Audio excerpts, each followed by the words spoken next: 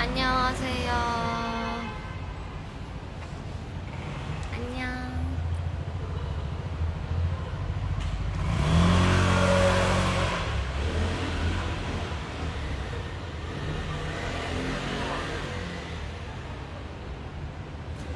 오늘의 리포인트.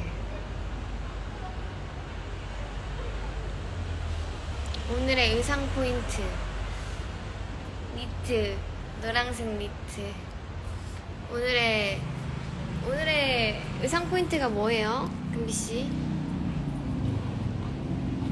오늘의 발 포인트. 잉.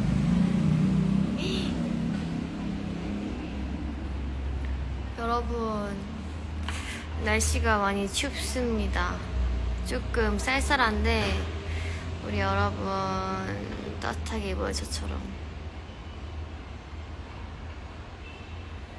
저 방금 선물 받았어요. 메이크업 쌤한테.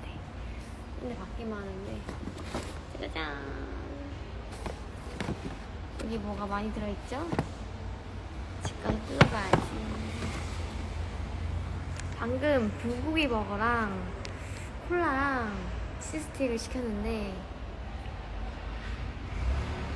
맛있게 먹겠습니다.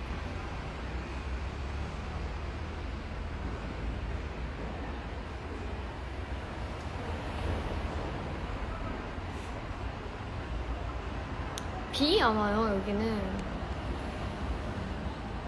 내일 바꿨어요. 내일 이름 좀 정해주세요. 은비씨, 어, 이차 탈게요. 여러분, 차를 같이 탈까요? 기다려봐. 덜컹, 덜컹.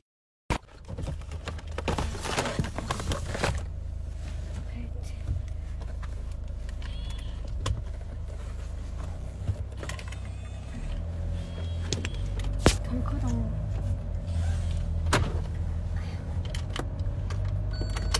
됐다. 덜커덩 방송. 다녀오겠습니다.